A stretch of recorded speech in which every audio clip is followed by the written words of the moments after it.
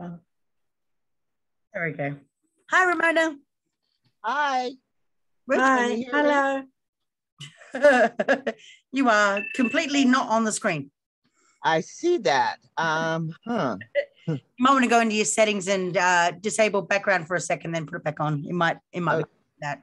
Okay. All righty. It's all right. You haven't missed anything yet. no, we haven't started. Don't worry. I'm. I'm... I am so hot. I want to keep my lights off. Oh my God, it's so hot. Well, uh, here, here it's cooled down. It's actually 101. Jeez. I, I just I went out early and I'm like, I, don't I don't know why I went out. yeah. Um, it's hottest it's been here. It's 122 Fahrenheit. So it, it's dry heat, so it's not so bad. Uh, when, like where you are, Katie, you get very moist, so that would be hell. In Japan, where Rie is, uh, summer, you're coming into the storms now. And so, oh, really? be, yeah, September uh, storms, oh, yeah. uh, and then are very hot and muggy. Mm. Yeah, sweaty. Right? Yes. And when I first came to Japan, I didn't know this, and mm. everybody kept give it, giving me face cloth. I had many, this many. I, I, why did you give me face cloth? Nobody told me about weather. And then one week later, my face is dripping and uh, Yumi said to me, Where's your face cloth? I went, What? I thought they were small handkerchiefs. He said, No, face, wiping face. So September, very wet. Uh, you yes, very humid in Tokyo. The climate changed uh, compared to 10, 10 years ago. Mm. Since the, the great earthquake in 2011, the climate changed and Tokyo is very, very humid and, and you know, hot, mm, very mm. dangerous. Yeah, I knew that earthquake was going to happen. I, I was talking with Remy, mm. and she is uh, eight floors up in her apartment. And I said, Are you safe here? Because there's a tidal wave coming. And she said, Oh, I think so. But her area, she's just near Disney World uh, uh, Disneyland, whatever you call it. Uh, and so she's on the bend uh, of the of the uh, ocean coming in the inlet. So the wave came beside it. It didn't come in in there. Mm. So unfortunately, we know we lost many people. I to this day I don't know how many students I lost. You know, it's a shame, and I pray it never happens again. Mm because Tokyo is right on the fault line. And uh, the world is shifting because of COVID and no aeroplanes and so on.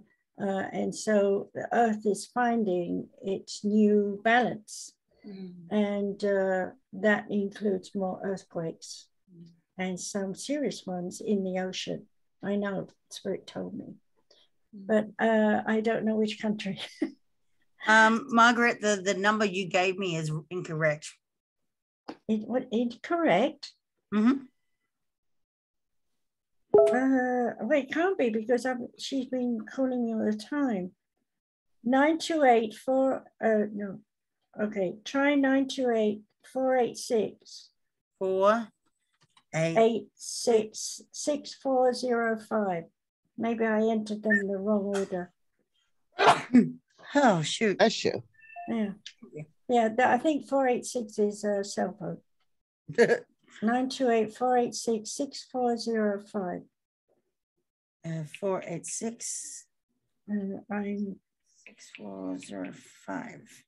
Yeah, it's calling her, so uh, that's probably her cell phone. Hi, now I can see you, and you have uh, some funny hairdo going on. yeah, it's pulled up off my neck. No, the the because you have a backdrop. Okay, it, it it's going like this. yeah, you're kind of disappearing.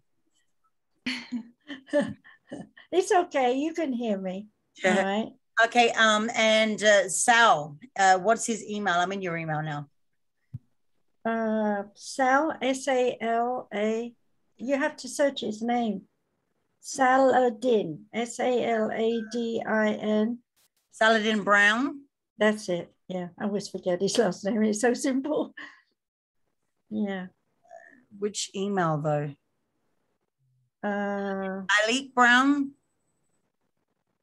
There's there's different emails for him. Yes, he keeps changing it. That's the problem. Uh, is it one with the picture? Yeah, that would be working. Okay. Let me go in here and I'll send him the information right now. Thank you. Because he was saying, I couldn't find it. I was going everywhere looking. And, and I said, Facebook. And he said, I don't go, you know, very often. So I don't know. Any of the others say they were coming back? Uh, there should be a couple of people that are coming. Uh, let me message another one. Sorry, girls, but you know, if I don't want to miss it, they say they want to come and then they can't find it. So it, it's been a problem. I use the old, uh, uh, the old one to get on. Yeah, it's the same. So okay. Mm, I'm going to sneeze. That's something up my nose. Yes, you. Touch it before it happens. I don't know if that's good yeah.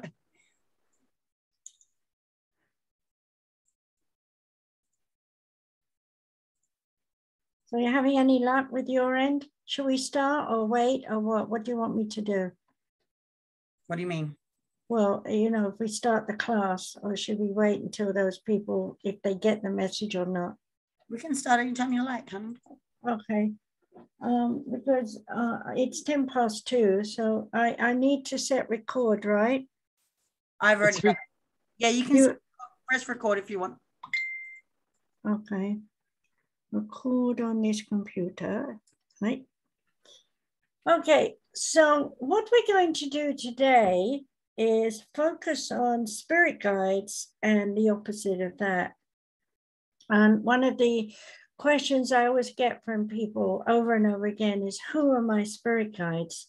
And I want to say categorically here that you have thousands of spirit guides.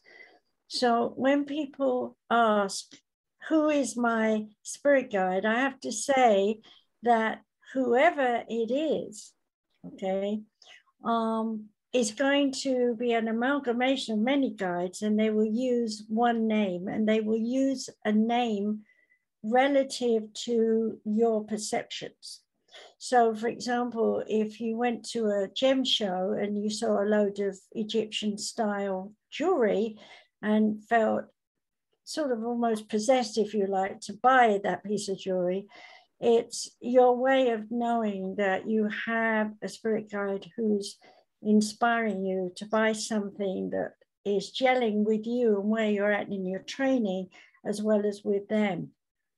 But it's important to understand that your spirit guides can change uh, their form and shape and size so I want to get off of the psychic ability for a minute and talk about the oneness in terms of as above, so below, God and us below that. Or um, another way to say it is the cosmos versus life all over the cosmos that we don't know versus our own universe. And we're already beginning to understand there are many more planets out there in our uh, universe that we don't even know exist because they're too far away to see. But we've now come to speculate and understand that those other off moons, worlds, whatever they might be that we want to call them, have uh, life on them. And we've finally come to realize that life is constantly moving and shifting and uh, evolving in some way. But in our small brains, and we have to really establish they are small, um, the amount of knowledge and wisdom that we could hold in our brain would would never ever have the ability to house the whole of the universe that is just our universe and all the species that are on it and all the activities that are going on. So when we speculate on, on what is out there in, in that cosmos um, we're really uh, putting up a question mark that is not able to be answered. So, for example, if we go back to Star Trek and uh, we, th- we think about all the different characters they've invented and they put like people come on with horns and their noses are a bit screwed or something and they're all made up like in the movie. And you think oh that's that's an interesting alien uh, i could kind of relate to that because i'm actually looking at it and they're actually functioning with uh, some sort of uh, mental uh, telepathy or they have machines in the movie that allow you to uh, translate their language. You know, this is all put in these movies, and it's like, wow, this is wonderful. But I asked my spirit guides at the time, I said, how much of that is really possible? And, and the answer was nil. because our brains are not attuned to the vibrations and sounds of something else.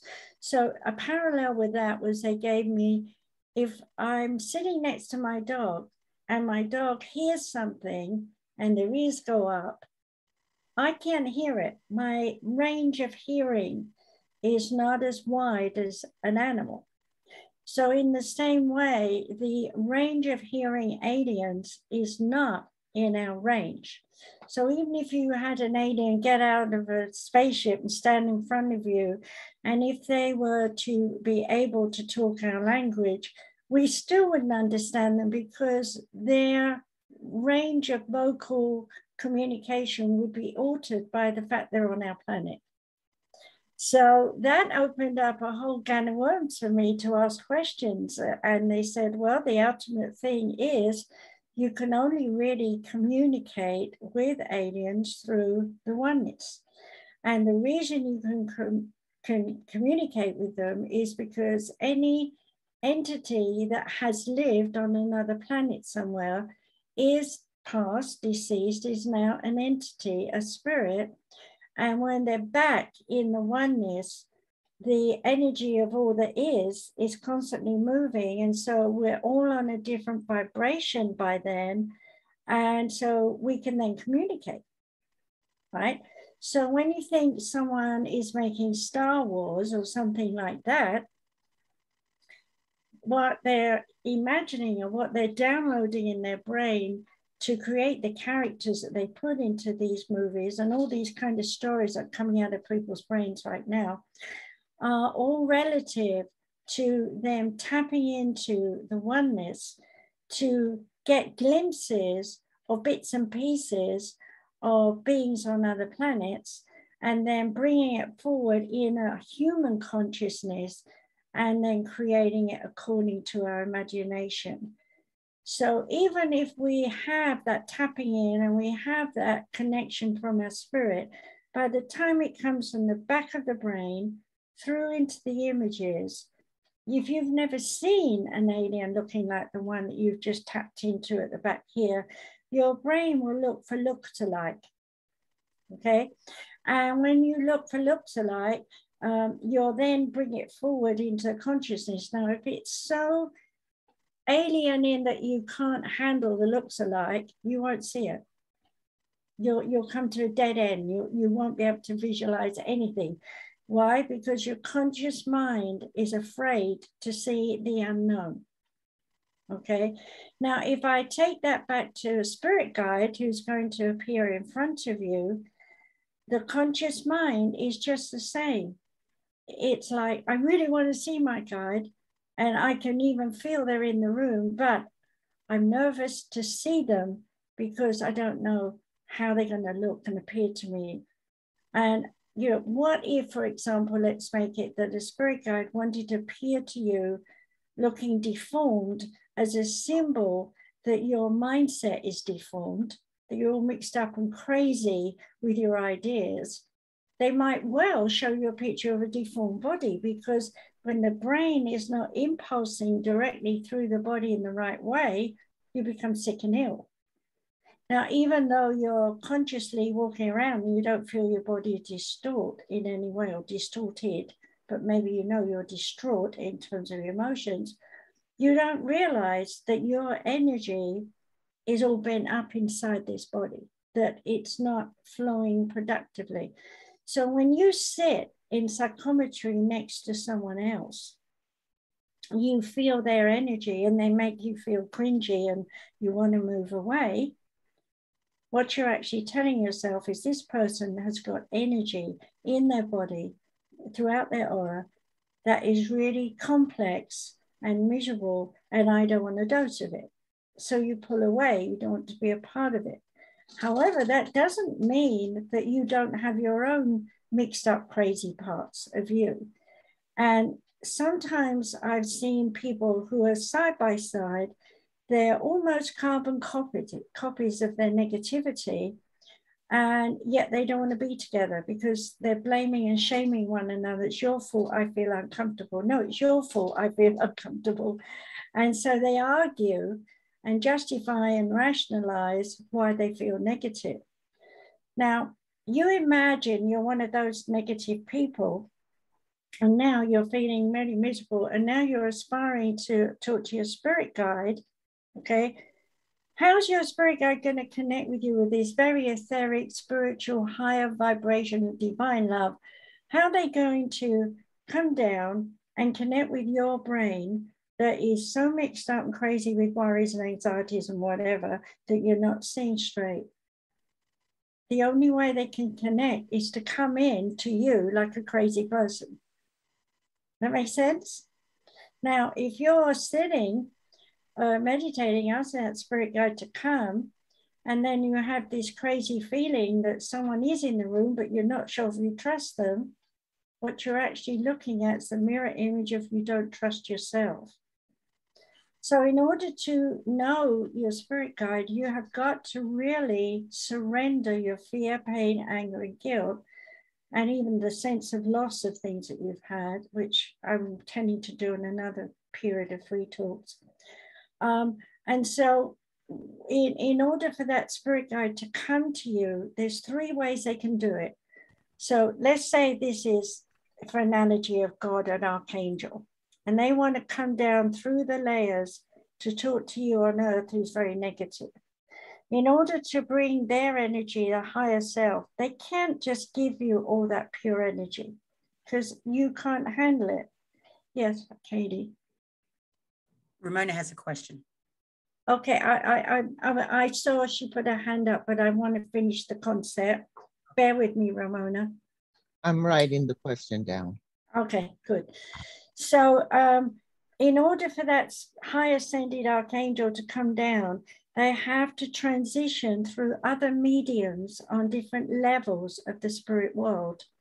So in the Akashic records, they're looking for people who they are connected with them and connected with you to pull up those people, use their identities, transition themselves down to a point where they can harmonize with you and show up and talk to you. Make sense? Any questions about that? Yes, Ramona. Um, I want to go back earlier when you were talking about our minds unable to hear the frequency of, say, aliens or whatever. Does mm. that hold true for everyone? Because if you watch babies, they they have the same reaction that your animals do when they're hearing and seeing something that that we aren't hearing or seeing. And I've seen that happen with my niece was a baby. And also too, like in schizo, uh, schizophrenics, you know, they are said to to imagine voices in their heads because no one else can hear them. But mm-hmm. I had the opportunity to watch one in full blown conversation. And there's no way they were imagining that. I, I truly believe that they are hearing. That's what drives them nuts, is because they are hearing these. Yeah, I, I, I would address that all on its own in many ways. Okay. Because um, number one, I'm going to briefly answer, but it is in itself just a lecture on its own. Okay. Um, basically, infants come in with the pure spirit vibration that they've just left the oneness. Okay. Uh, and in the oneness, they're a pure spirit, so they're able to connect and transform their energy and talk to anybody and everybody in the oneness.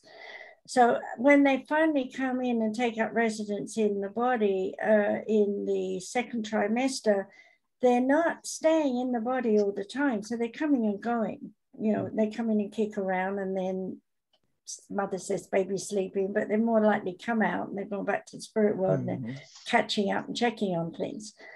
Uh, so when when they come into embodiment, finally to be born, uh, and I remember I was given all my birth and stuff It's in my life story.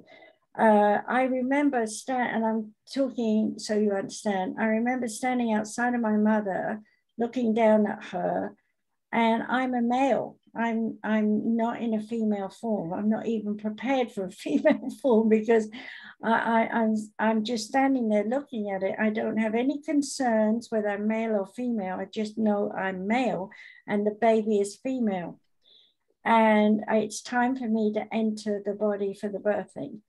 And so I, I said something about now it begins, and I just went into the body.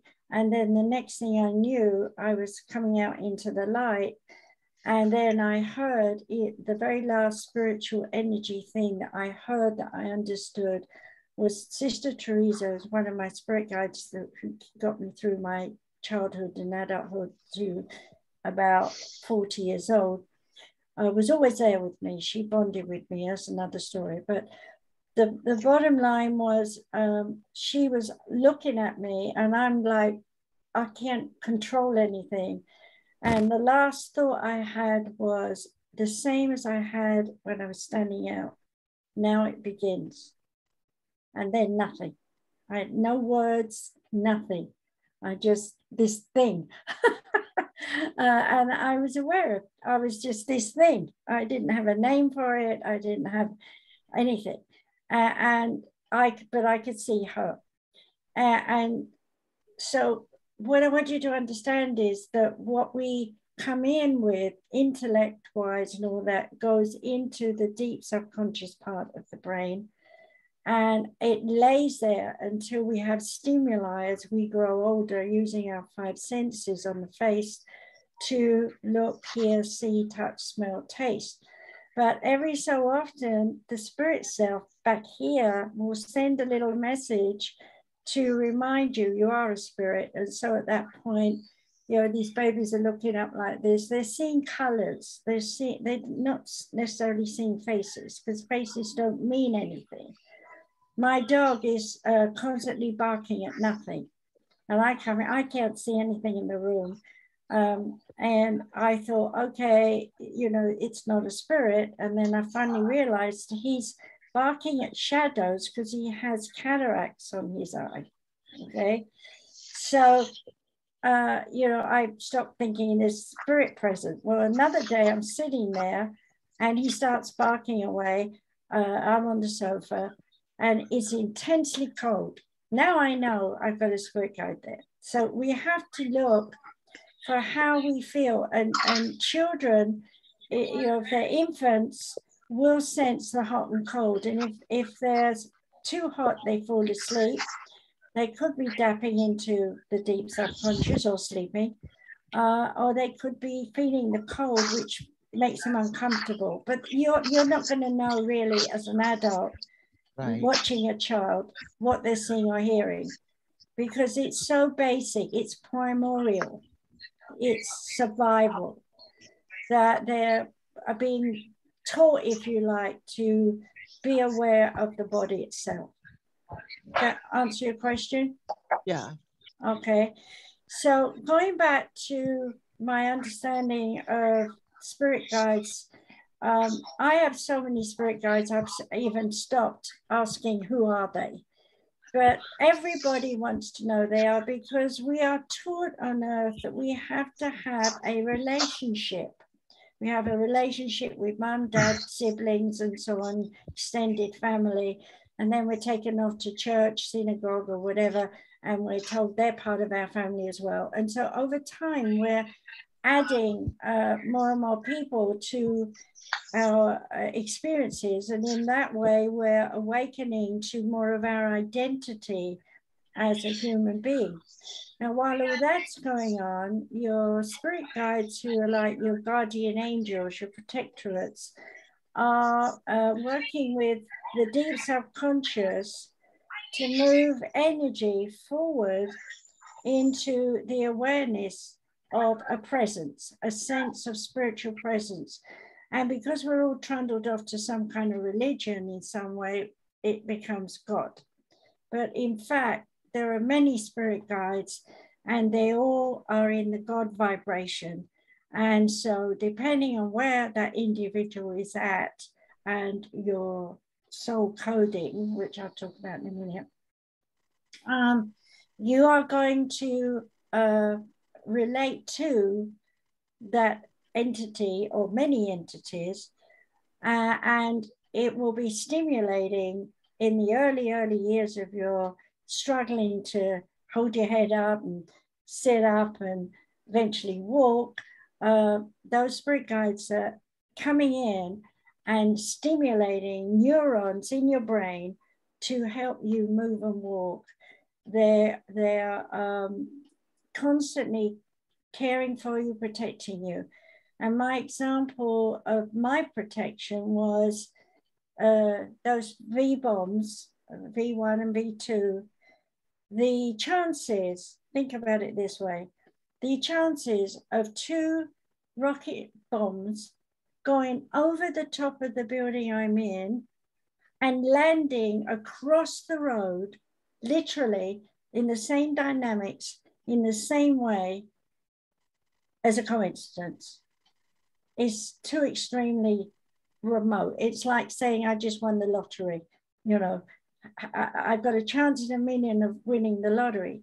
Now, here I go with my example of that. I was uh, not long in America, not much money, worrying how I could feed the children. I'm standing at the checkout. I'm paying the woman for the food I bought. And all of a sudden, I hear all six numbers for the lottery. So I say to her, I want to buy a lottery ticket right now and I want the number. And she said, Oh, I can't do it. I have to go over here. By the time I went over here, I don't remember four of the numbers. Mm-hmm. I bought it anyway. And I got, in those days, $175. That was a lot more money in those days, like $2,000 today. And that did me for a week or two with foods and rent and whatever I had to pay, helped me a lot. Uh, and uh, you know, if I'd have won, remembered the other two numbers, I would have won a million dollars because that was what, how much it was in those days. Uh, I and I kicked myself all the way home because I couldn't remember it.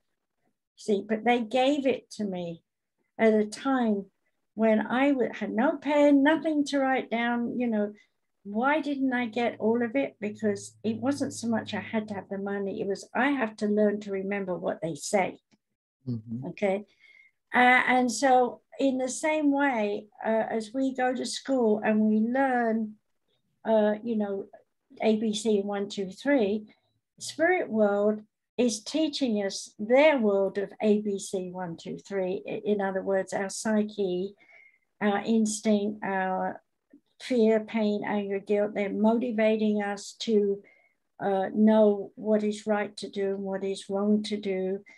Uh, and you know, there's many instances when you look back through people's lives where they say, I was told you should never do, do, do, do, do what. And then they, they're just so overwhelmed, they just go and do it anyway. And it works out, it's the most amazing thing for them, and it leads to other things. And it makes them one day a voice for people to listen to. So we all have rules and regulations here on this planet, but the spirit world will tell us by giving us images, pictures, something that's encoded from the back of our brain moving forward. Don't listen to them, go do your thing. And you have to learn to trust that. So when you develop your psychic ability, a lot of uh, emphasis is going into are you really listening? Are you really hearing? Are you really feeling from back here as opposed to here in the conscious mind? So when people start to, uh, you know, get psychic as they think, a lot of people are in their 40s. Uh, and so they don't have the advantage that children have of growing up with it through the years and evolving as I did. Okay. So imagine now, if you will, that you've been blind, as it were, to your spirit guides, and you just believed in God uh, and God's protecting you, kind of thing. And then you suddenly get this urge in your 40s that you want to study your psyche because it's the in thing to do, or it feels right to do because you've had enough of being negative. Okay. Well, what you've got to work with then is this because your conscious mind is dominant and it's not going to uh, surrender itself to unknown because that's too scary you know going back to my analogy of you know dog barking and something's in the room and can't feel anything versus when I did it was cold or hot. Well, imagine you've never had that cold or hot feeling, and all of a sudden you're sitting there and you're sweating or you know and you're thinking what's going on with me? You know the temperature is 45 in the house. Uh, well what you're doing is your spirit guide is giving you a kind of energy boost a healing boost and they're moving your negativity out of the cells in your body. But if nobody's told you that and you've not had any training about that you're going into a panic about, I must be ill because I'm sweating, I must have a temperature, and you're going to take your temperature, it's normal. Okay. So energy can be passed by the spirit guides from every cell in your body. And yes, you could have a miracle healing and not even know it. So let's say you were starting cancer and they know your destiny is to become famous for singing, shall we say. Okay. And so you can't have cancer at this 15, 20 year old person because you'll never make it to be famous and do all the writing and all the messages and all the things you're going to do. So they will come to you and they will change your aura, they will change your energy, and you will go through these hot and cold sweats and things, just like when you have flu, only you nothing's wrong with you that you can see. But what they're doing is they're changing your aura. They're taking all the energy that's negative relative to forming cancer, taking it all away, and you will never ever know that you've been saved from having cancer. You would never know. But then the years go by, and let's say grandma suddenly dies of cancer, and you're running off to the hospital going, Oh, I wonder if I, I might be a candidate. You know, better have my boobies cut off or something. And I've seen people go through that. Uh, and uh, it's unnecessary surgery um, because I, oh, I could already see that that had been cleared from their energy source and they would never get it. Uh, and I've told them that, but they've still gone and done it. Uh, and uh, just in case, because of fear.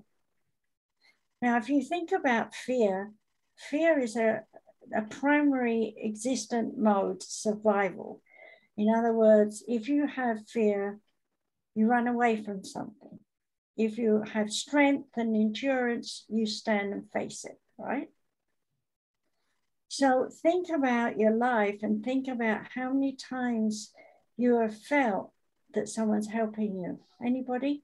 Put your hand up if you want. Yeah. Okay, Ted, what do you want to say? You've got to unmark, mark yourself. Yeah. Yeah. Um, no, I mean, uh, no, th- there's been plenty of times I, I know I was helped out there um, and uh, protected. But uh, I know that Ramona asked a question about the schizophrenic part. Um, I'm interested in that too because I was out there when I was out there in my, my drug addiction. I I heard many things, and uh, it was I know it was voices, but I know it was real and I knew that it was part of the spiritual realm. And um, you know, the thing is, is, is uh, understanding how how does all that happen? How does all that take place? Because you know, in, in addiction, you, you basically slip into like a schizophrenia kind of situation because your ego takes place and you start thinking, you know, that you're you're in control of like everything going on around you. Um, hmm. And so, yeah, I mean, I, I would like to hear that answer that yeah, question. I, will answer that question for you. I was going to leave it till a bit later, but I'll answer oh, it. So okay. you it up. Okay. Because uh, I wanted to understand how remote the, the spirit world is, and yet right on top of you at the same time. It's remote because of the conscious mind being, you know, being in the phrase of negativity. Uh, but it's also distant in terms of when we think of the whole cosmos as the analogy of it, there's so much of it that how do you find your way to the center part that you need versus, you know, say, Ria going to the center part she wants. You know, in energy source, it could be, if we could measure it, we would be billions of miles apart. But in unification of the oneness, it's instantaneous that we're there. So our brain can't understand that. So, in the same way, when you, take drugs where you're stimulating the third eye and the conscious mind to go the opposite way, back through your images, back into the back of your head, it's kind of like going out to play golf with a, a pickleball and wondering why you can't make any sense of getting the right you know, to get the ball to go into the golf ball hole because it's not going anywhere. It's only going a little ways. And now you have to keep going and hitting it again and hitting it again until you get that into the hole. And, and so that's what it's like when you do drugs. You get a glimpse of playing the game, but you're never getting to where you really want to get to. So because your conscious mind gives you a starting point Let's say I want to see an angel. You go into here you, and you pick an idea of an angel that you might see in a Sunday school or something. And then you take that back here to see an angel. But hey, your spirit guides are not appearing to you as angels. Let's say they want to appear to you as a Roman and Greek uh, god. Okay. But you're thinking from here, an angel with wings, they can't make you change that vision. So they have to go with what they give you. Uh, and usually, uh, well, I mean, what you've given them. So usually when, when you get to the back here, what they can do is give you, you're hurting yourself. So they give you images of things that aren't so good. And a lot of people who do drugs, they they get terrified while they're while they're under there and then and then they wake up and now they're trying to rationalize what it is that they see so let's say um, you know you're you know taking the angel scenario same story coming back here and uh, you get to see a fiery dragon uh, like trying to burn you all up okay and then you wake up out of shock and you go, oh, just all where, you know, what's that mean? You don't know because your brain is all at sixes and sevens of not being able to make sense of it. But what it would mean is, and I'm using that because you know, it knows all about dragons. uh, and so uh, what you've got is the fact that it's firing at you and burning you up is your spirit guide is trying to say, you're doing this the wrong way. You're burning up your own energy by doing this. You're hmm. destroying yourself by doing this. See? Uh, and that you should understand that a dragon has power and you're misusing your power. Okay. Right. And a dragon can fly and you're flying too high. You're out of control. You know, so they will give you something and shock you all the way back to, I can't do this to myself. Well, unfortunately, addiction of the drugs is stronger than the message coming back from the spirit guides. And so people think, oh, I need to know more, go and take more drugs. Yeah. yeah. And it can be the same with sleeping pills. And I admit I've been taking sleeping pills my whole life because I'm insomniac because of the bombs. Uh, and I've taken myself, even recently, I've been working on my face. Uh, and I took myself into my mother's womb and saw there that I'd taken on my mother's anger. And, and then I went from my mother's anger in the womb to her in my grandmother's womb. And I saw the same anger in my grandmother's womb that my mother carried throughout her life. And I, I didn't go any further back. It was enough for me to understand that there is a string of women on my mother's side who have all been born with the energy of anger. Now, the reason I'm saying this and telling you this, I'm going back to before you come into embodiment, you are in the spirit world. So I'd like you to listen to this part and then ask me questions afterwards. Okay. Um, you as an individual, having lived a life, go into the halls of knowledge and wisdom. There's several halls. I won't explain all that now. And when you go there, you can like sit in this empty room and your whole life that you just lived is flashed before you, all the details, every little bit, okay? And in the process of that, because you're in the spirit world, you're, you're not listening to a conscious mind, you're in your spirit consciousness, you're able to correlate this last life with all your other past lives. And in the simulation of that, to then come to a congruous idea of what you managed and what you did and feel reasonably satisfied with what you've done. And then you'll go off and sit with spirit guides who are your soul group and or have a discussion on how well we did or didn't do. Now, what are we actually doing? We have to go back in time for this. Imagine, and I'm just giving you this off the top of my head because it's a full number of the oneness. Imagine you have 144 lives completed, okay, which is 12 times 12, which is a 12, uh, 12 levels of evolvement beyond what we understand. Uh, and uh, magnified by 12 is, is uh, how many cells and things we have in our brain so we can receive impulses. It's stuff that science tells me. Okay, so um, here we are in the spirit world processing with these 12 times 12. And so we can see to the dynamic of 144 potential ways we could have, might have, ought to have, should have, would have, maybe did, maybe didn't do, you know, all these excuses. And then we also see, yeah, I went here, I did this, I did that, I did this, I did that. And so I've done quite a lot in this past life. Now I will sit with all the people who have gone before my ancestors. I will sit with all my um, friends and associates I've had throughout my life I've just lived. We congregate, we come together, and with that comes all the spirit guides, guardian angels have worked with all those individuals, okay, while they were on earth as well, as working with you and integrating with you as well.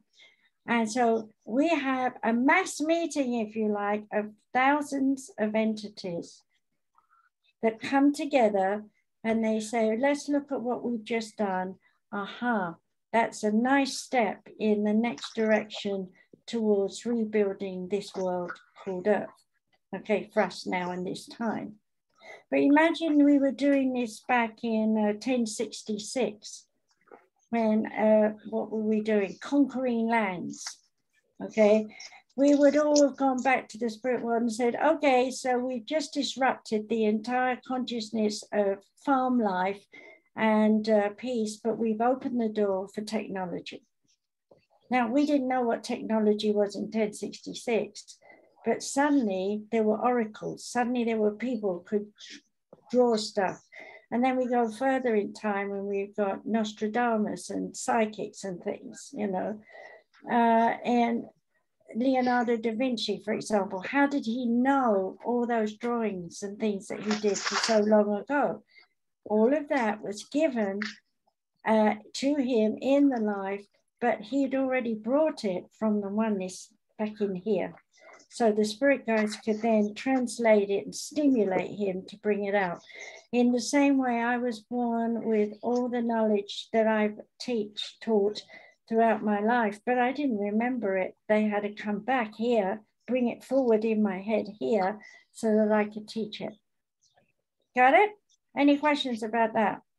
No, no. I mean, but one thing I do have to say is that I did have a bad experience, like you're talking about. It was almost like a dragon, I guess.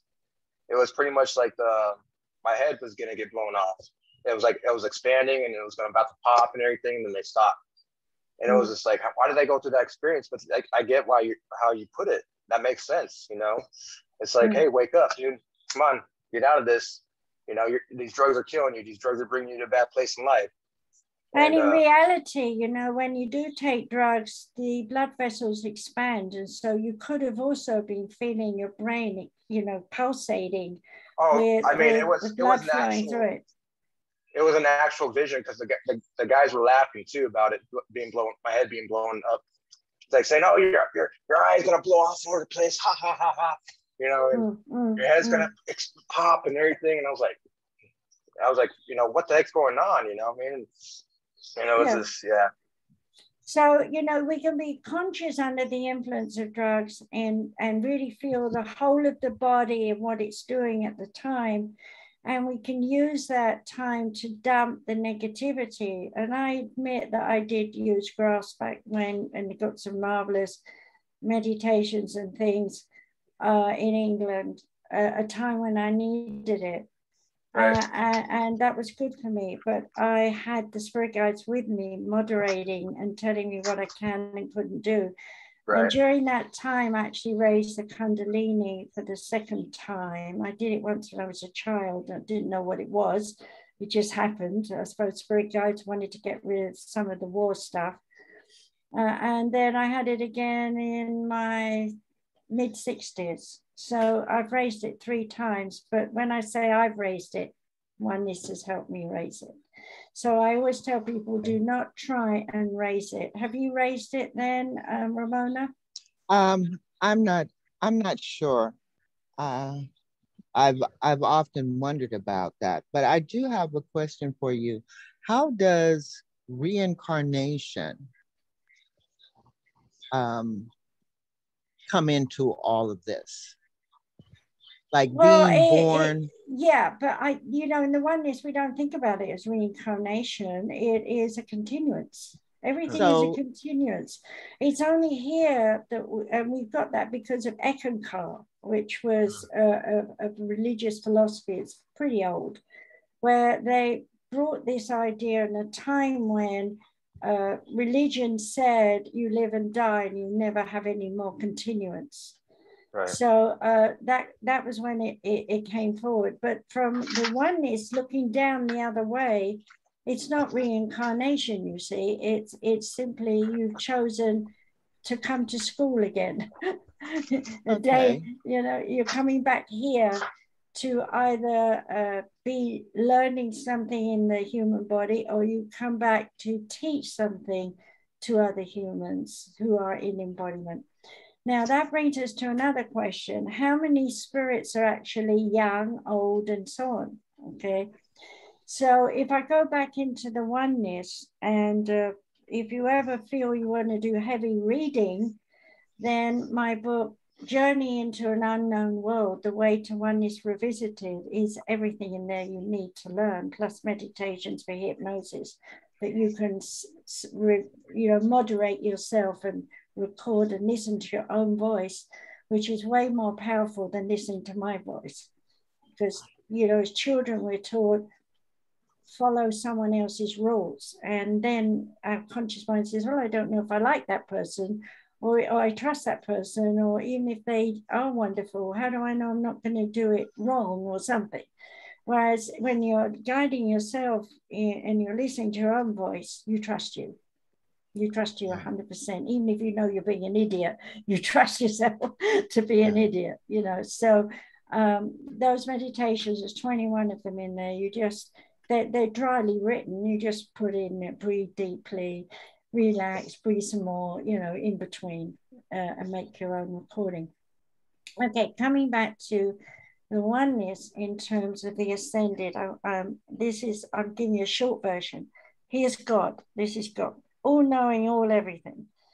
And after a while, God says, I'm very proud of myself. I've done everything. Now I'm bored.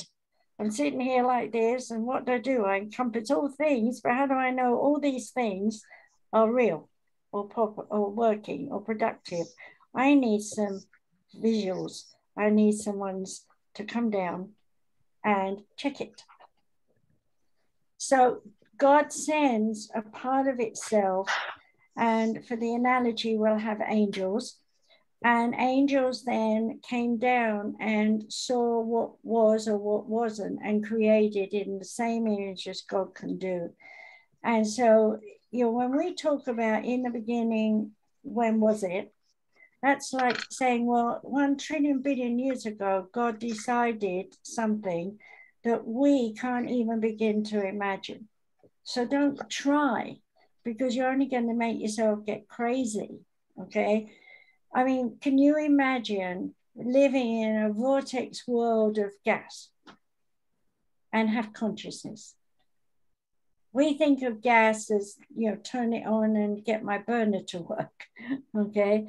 We don't think of gas as a molecule. We don't think of gas as having a consciousness within that molecule to either be light or heavy, to, to live in the ground or to live in the air. We, we don't think about how did that become that? How did, how did it form that? A very long time ago, Spirit Guides gave me a vision where I was from another planet and we went there in the spaceship and we saw, we were investigating this giant ball of gas. And when we saw it, we thought, this is good. It's got moons, it's got this, it's got that. And we put some biochemical, whatever we want to call it, doesn't matter, into the atmosphere of that form so that it would cool itself. Go away a few thousand years, come back, do another biochemical thing, go away, come back. To us, how could someone live that long for billions of years, say, for this planet to evolve to be water, land, and animals, or whatever we're going to put on it, and then bring creatures, one cell creatures, to live in that mire, and then bring two cell creatures or 24 cell creatures as we are. Uh, and, so, you know, the, the bottom line is evolvement is a mystery to us, but to the oneness, it was just experimentation coming out of a gaseous consciousness of liquid into form in thousands and thousands of different ways. And when you try and ask a spirit guide to explain all that, unless you are a scientist, you're be just like me going, it's overwhelming. Mm-hmm. you know, so reincarnation is not something that we use in the spirit world. It's like, okay, the world needs a transition, i.e., the, the bug that's around. Can't use the word because we get blocked. Um, and whenever there's a bug that's affecting us worldwide, then that's a time before, long before it happens, maybe 100, 200 years before it happens, uh, entities will start incarnating on Earth with uh, their own little coding from back here that they're going to bring forward in time at some age and give to the world and die. And so we get a string of master teachers to teachers incarnating on earth and they're different from other people because they bring with them their psyche up front in the conscious mind. And when you think about um, Michelangelo and his painting, or you know, all these different things that each like uh, what's his name, the more modern one, uh, Tesla. Okay, um, having all those drawings in his mind and and telling us about the anomalies uh, and uh, all the things that are out there in space when we hadn't even got a rocket off the ground. Where did he get all that information? Well, it's in the oneness. And where did the oneness get it from? Well, we've already been to other planets and other places where we know about science. It's just here we have amnesia, right? So coming back to your psychic ability, your psychic senses is actually the wisdom of the oneness. But it's it's now dormant because you're not switched on. But the minute you start to require it, want it, need it, drive yourself for it, you're giving yourself permission to open up and accept it. And of course, as soon as you do that, your conscious mind will tell you, you're being crazy, you're a liar, you're a cheat to yourself, don't follow that. You've heard from church, you know, it's the devil, or from the synagogue that it's not following the right philosopher or whatever, you know. Uh, and, and, so we, we get in this argument with self. Uh, and so can you imagine what your spirit guides and all these people that you've met in the oneness are looking at you going, aha, we were waiting for this event it's time right now. We'll just come in and we'll throw a few lights around the room and uh, make him realize or her realize that um, there's something they have no control over. Right? Uh. I, I had that happen when I was lying in bed. I was about seven or eight uh, with my sister. And she was sound asleep. Mum had the radio on and music playing, and very small apartment we were in. And uh, all of a sudden I had two two things happen. One is I felt so big in the bed that I was like a giant and I could just put my hand up like that and I would be touching the corner of the room in the ceiling. At the same time, I had this feeling I was so small, it was like an ant in the bed that I I, I felt that my sister turned over, she squashed me. it was two completely opposite dynamics. And at the same time, I'm watching blue and white lights zooming around the room. Okay. Now, obviously, I had no no uh, drugs, nothing, whatever. Okay. Um, I do remember that within 24 hours, uh, my my sister or I, one of us, came down with mumps. Okay, and mumps, as you know, uh, you know, can can be a horrible thing when you have it when you're young, but if you get it as an mm-hmm. adult, it's not mumps anymore, it's uh, a rash. Um, so, uh, you know, these childhood uh, illnesses can also be psychedelic for us because the spirit guides will come in and work with us. My sister was, uh, you know, very young and she got pneumonia when she was under a year. And I remember my parents telling me I had to be really, really quiet because, you know, she might die. And I remember then saying to my spirit guides, please don't let my sister die. And I remember laying back in my bed with my hands like this, and it was like I was send, throwing snowballs in the bedroom. That's the way it came to my mind because I was she was born in January, winter with a lot of snow.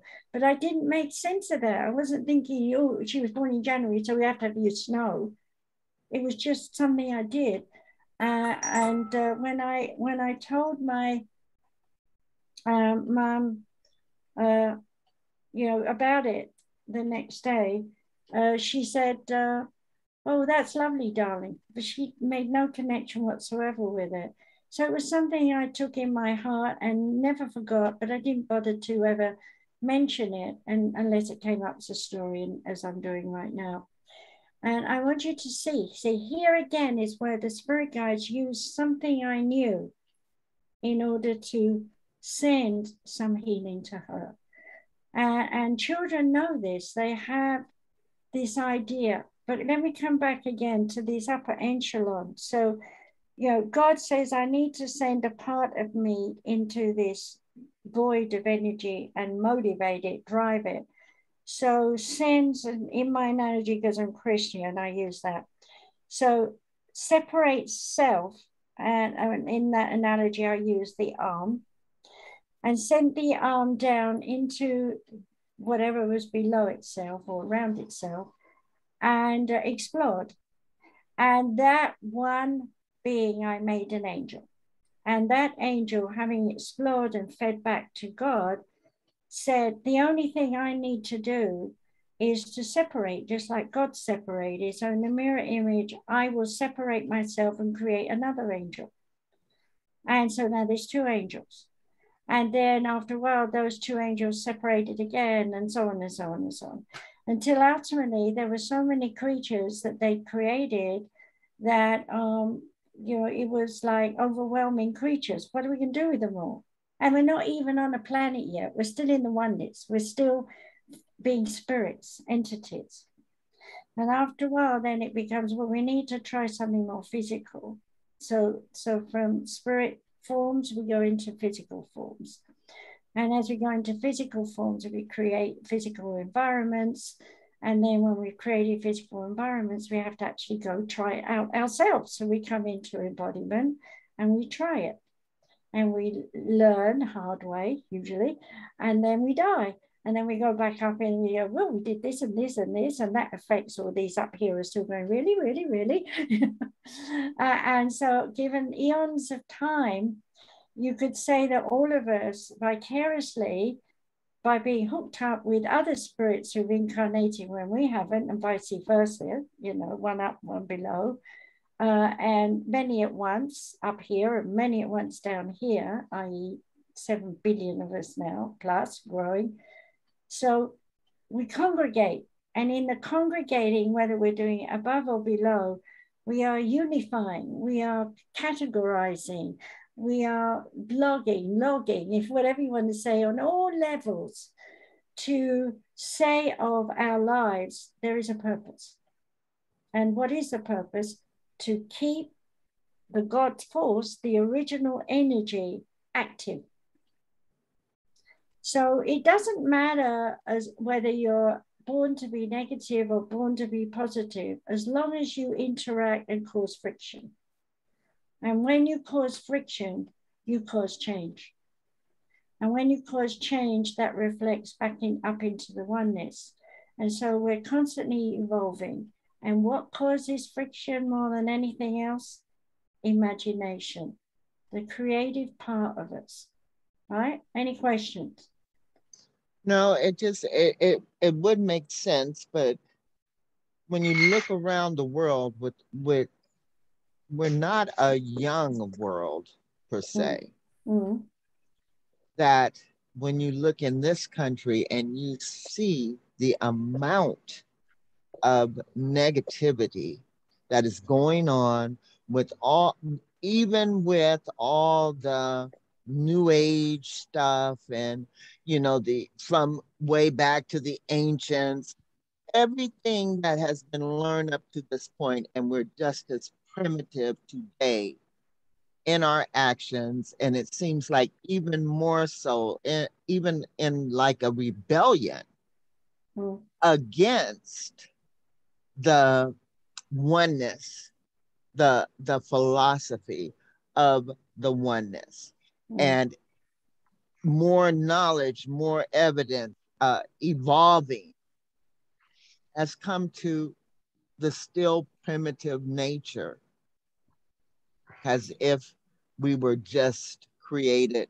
yesterday. Mm-hmm. Yeah, there's three levels you can look at this on. If you're looking at it from the God level, the spirit level mm-hmm. up here, looking down, uh, incarnating on earth is about causing the change because if we don't have too many people coming and going all the time then we would become static and uh, if you want to say outrageous using one of our words of negativity versus outrageous positive the pendulum swinging real high okay between i can and i can't i will and i won't i shall and i shan't so everything that's going on on this planet is extreme right now. And it's mm-hmm. only when things are extreme that we stop and go, why is this happening? And we stop taking everything for granted and we start looking at what could we improve? What can be better?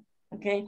And at that point, when we start to accept, which is a mass goings on of, of the people in general, then those who've come with this knowledge stored back here, like Tesla, for example, uh, are accepted. And those who come after them take that knowledge because it's in their brain box too, and they start building whatever he was saying he saw in his head. The same with um, um, um I can't think of his seeing all his drawings. Mike, Michael D'Angelo. Is it? Is he? No, that's not the right name. Oh, Michelangelo. The one, the one that um no, he made it. He did. Da Vinci. yeah, Leonardo da Vinci, thank you. Could think of his name. Uh, he came in with so many drawings in his head, you know, but he didn't know that till he meditated on his candle and the flickering put him into this alternative mode where he could see these images. Uh, and uh, it was in many ways the same for Tesla. Uh, to to muse on his images and to go into you know and I do the same you know to. so so it's very important to take an image muse on it and let yourself float away from here going back through associated images going back into what's back here and let it come out. And not say, oh, this means, but rather let it come and just write it in a book uh, and not try and make sense of it because you, I, I've got stuff I wrote in books back in the 1970s that is only making sense now. Uh, so, so we don't get all the pieces of the puzzle in the order that they should fit together that we'd like to think we would get, and then therefore building our way up. No, we get a bit here, a bit here, a bit down here, a bit of it, you know. And, and as we get more mature and more trusting in ourselves to be patient and tolerant and expressive of how one wants to be without worrying that Tom, Dick, and Harry is going to judge us, that we start to realize we can put these little gems together and make sense of them. And that's why you hear more of, you know, great sages of some kind in the past. They struggled, they were treated badly, they were, you know, people were afraid of them because they were different. But by the time they got whatever their news that they were carrying to bring to the world, uh, they were either abused and killed or, or they were cast out and lived on an island somewhere you know. And that, that applies not just to um, great sages of enlightenment. Uh, let's use napoleon as an example. You know he he knew as a small child that he had a destiny and in his mind it was to conquer the world and and uh, you know have one one way of, of of sharing economy and so on. And in many ways, he brought a great deal to the world, but ultimately he got into greed. And that's again, why, why would a, great leader come to embodiment, conquer the world? Uh, I, I, let's switch over to Hitler as well. Same same kind of coding, and that's in the um, the Way to Oneness uh, revisited book um, at the end, uh, because the greater the old soul, the more they must fall. Okay. In order to have a great reaction on earth. And why do we need a great reaction on earth? Because we are too, uh, well, I can't find the word, you know, we, we consolidate everything we've experienced, sit on the fence, and then say, I know everything. And we, we get uh, a big head about it. And, and other people talk to us and say, no, no, I'm right, you're wrong. And, you know, we're stubborn and we're fixed and we stop growth. So we need someone who's a great age old soul to come down in embodiment, put out some, they have the good dreamy stuff in the beginning, but then they get pulled into the wakes of what people want, serve the people that way, and next thing you know, they're the great terror of the century because they've caused the downfall of the world. But they haven't, they've brought change. So if you think about Hitler, you know, and uh, uh, uh, I can't remember his name, the Chi- it wasn't the Chinese, uh, uh, not Chinese, sorry, Japanese um, um, prince that was doing all this. It was the Japanese leaders of the of the uh, navy that started the World War with Americans. It was the same time Hitler started the World War with Europe. And the left hand didn't know what the right hand was doing.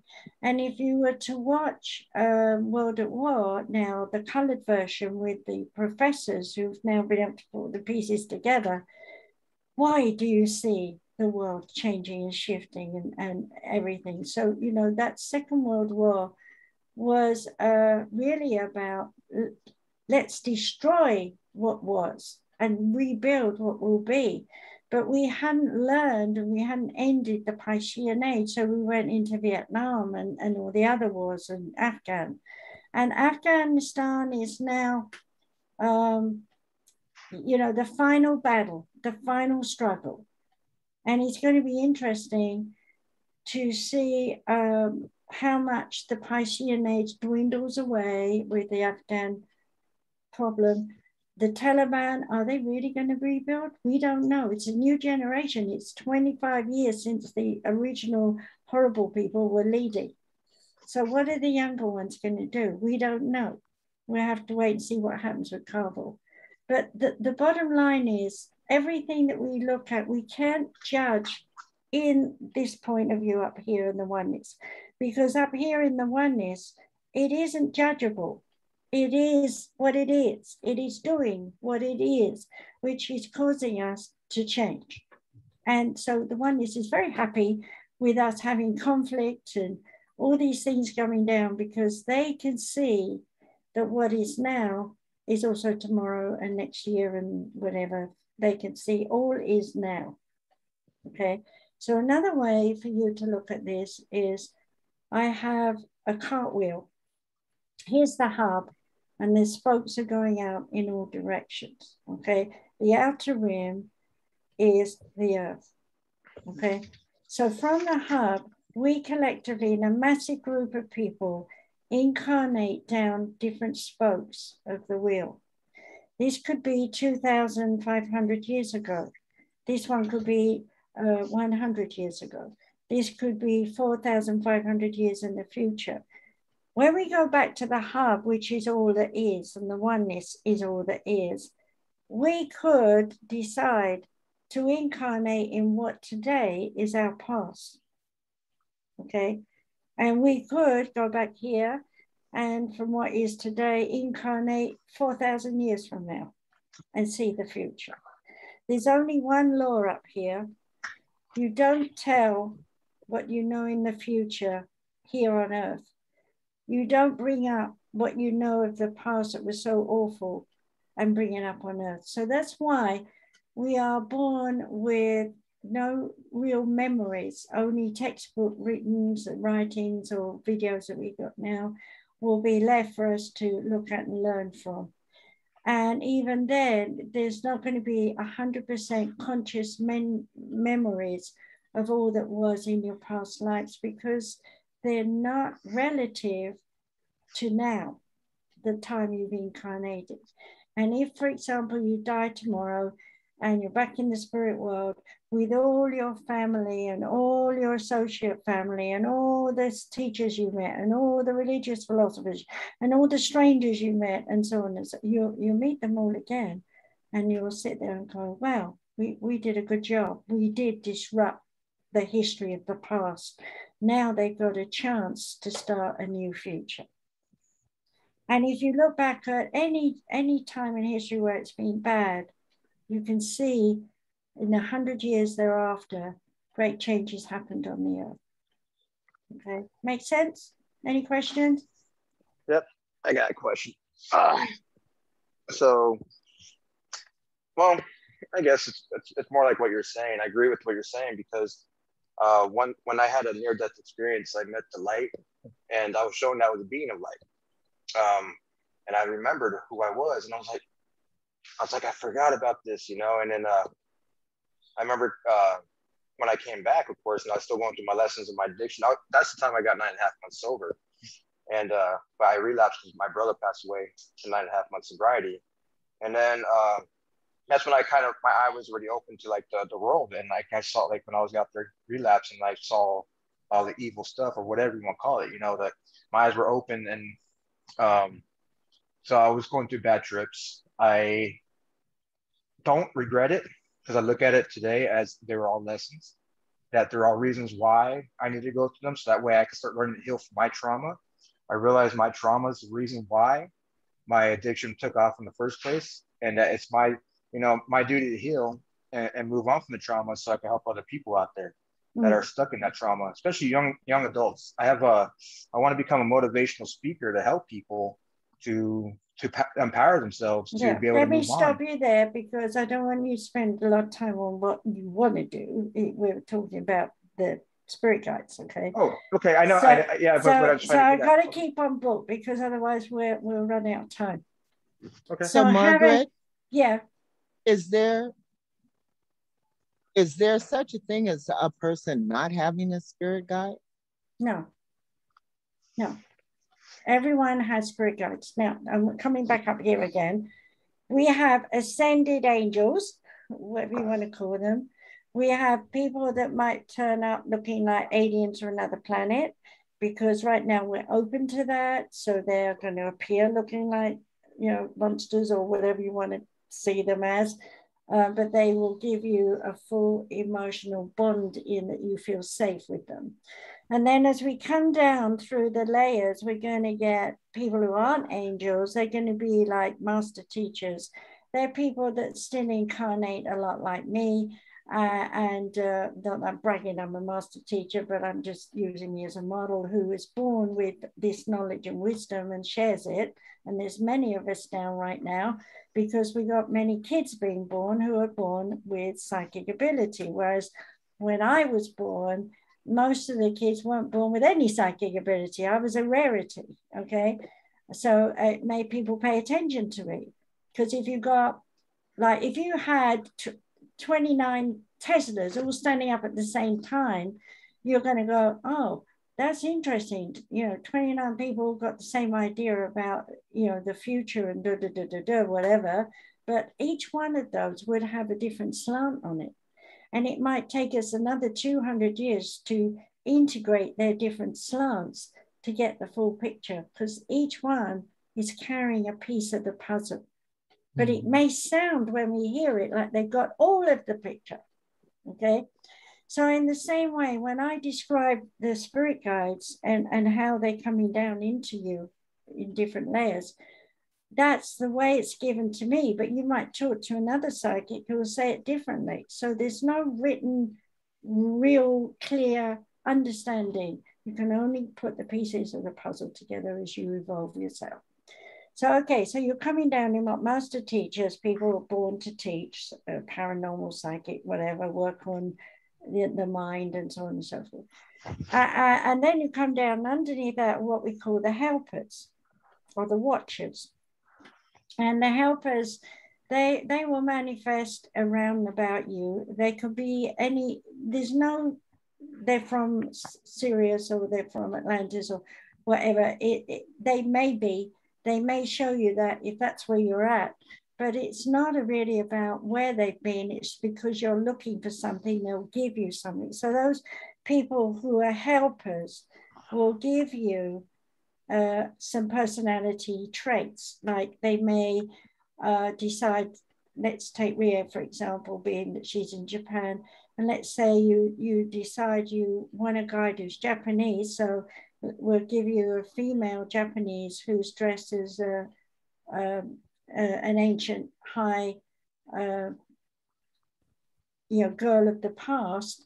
Now you wouldn't know what she is, so you would be going, okay, what, what, what, are you living? What? And she'll give you something like she might say, um, up in uh, Shibuya area or something, you know, uh, and and and you're thinking, oh, I have to go to Shibuya, and there's a temple there, and I'm going to sit there and meditate. And while you're sitting there meditating, you suddenly see a, a geisha girl's face, and then you think, oh, I wonder if I was a geisha girl or if she was a geisha girl. You see, you got you're guessing. You see what I'm saying?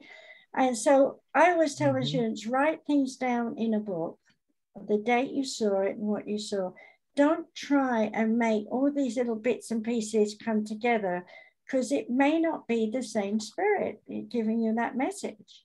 You know, just because okay. You're in Japanese in her case, and then she's gone to a place where there's a temple, and then she's also sitting there working on it and calculating the conscious mind it, it could be she's making that image come up because she knows about geisha girls in this time. You see what I'm saying? Mm-hmm. So um, we have to be very careful that we don't bring imagination in. So writing it down, just write exactly what you saw, the date you saw it, how old you were, if you want to, uh, and uh, keep it. And, and, keep it and keep it. Uh, I've got books I get out even now, read from Channing in 79 I was still in England. And uh, some of that stuff, I'm going, my gosh, I forgot all that. And it makes sense now. you know? So, so always keep notes.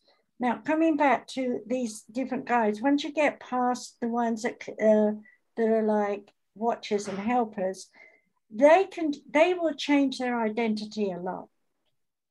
So they could appear to you like a Greek god, or they could appear to you like a nun, or you know, who knows what it's going to be. And it's all relative to what you're focused on at the time. So, uh, for example, when I was 14 and being confirmed, uh, because I had Sister Teresa around me since birth, and she was a nun, I was actually thinking, seriously thinking, do I want to be a nun or a nurse mm-hmm. or a doctor? I uh, deleted doctor because I felt that I was not clever enough because I had a brainy cousin who was 14 and passing all his O levels and he was, you know, that he should take when he's 16 or 17. Uh, uh, and so I'm, uh, I'm, I'm, dyslexic, I'm, I'm never going to be a doctor, so I'll, I'll be a nurse. Uh, and in fact, had I become an MD, um, I probably would have got stuck in a rut. But because I went nursing and the things that happened, again, read it in my book, my life story, um, the, the transition from being a nurse into going into another marriage, marrying someone who's a psychologist, and learning and picking brains and then moving into the psychology of it and dealing with mentally disturbed patients and seeing all the horrors of things that I'd seen at 16 also with mental patients. So I've been in and out of these things. Uh, it was like the back door. But I'm telling you, my back door taught me way, way more than any college or, or hospital would have taught me. Yeah. Because all they were talking about was electrify the brain or drill a hole in the brain. I mean, it's animal stuff, you know, it's so bad. And I, I witnessed all that. Uh, and now today we've got PD, post-traumatic stress, I have to say it all, attention deficit disorder, you know, um, post-traumatic stress disorder, I said, and there's so many other things that we can now treat, which nobody knew about when I was a child. So we can see here, coming back to these spirit guides who are kind of changing their form for you all the time, that they're working with the constant transition between the way we see this world through these eyes, listen to this world through these ears, speak about it in terms of our judgment and condemnation versus our hopes and dreams. They're the ones working with all of this and they're going to turn up relative to how you're thinking. So if you're thinking you need a Native American because you're born in America, or you know, and you think their way is the way, then up turns your Native American guides. If if you think you're you want to get into Buddhism, then your Buddhism guides turn up. You know, so whatever wherever you're going, they follow you. And if you're in the darkest mode of yourself uh, and you're calling for help to God, God isn't there, they are. Why? Because they're in your vibration, they know where you're at and they know what you're doing, and they're banging at your door going, ah, ah, ah, no, no, no, no, not that way, this way. okay? Because if you pray to God and you ask God to direct mode, if you don't have a true sense of you are connected to God in the heart chakra and feel God, you're only going to feel the spirit guide because that's what you're used to. And the law of karma is like attracts like in the mirror image. So if if you're in a negative mode, then you have to have a guide who can handle your negative mode. God isn't into negative or positive. God is the I exist. I am the energy. Got it? Yeah. So it's interesting because uh, 16 near death come out of it. And what I say is that I am a watcher. Mm-hmm. And I've felt that ever since.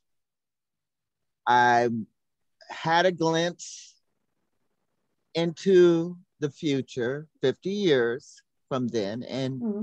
I decided this is a waste of my time. Nothing's going to change.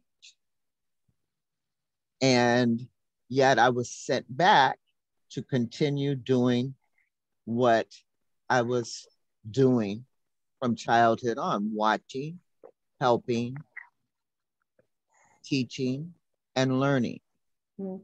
But it's still the connection that I had with God, let's say, or the consciousness, and with humanity, of which I did I knew I was a part of, but separate from. Mm. And it was the suffering of humanity, people I didn't even know, things that I saw and knew went on that I said, I I don't want this. Mm. This is not what this is not what I wanted.